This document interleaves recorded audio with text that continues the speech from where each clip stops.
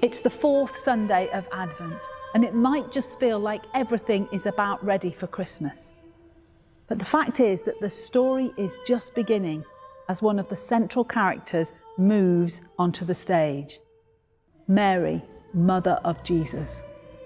And so the scene is set, ready for the perfect story of Christmas to begin. Except it's not perfect at all.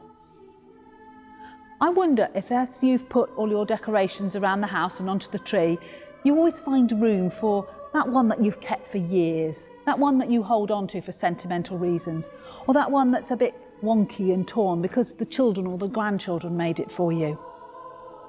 In our family, it's a small musical plastic crib. It's well over 60 years old. And the shepherds, lambs, and wise men are meant to go round and round in a circle, sort of endlessly visiting the little family in the stable.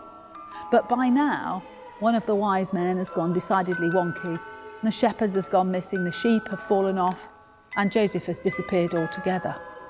But we still keep it and put it out every year because it's precious to us. It holds memories, even though it's a bit broken.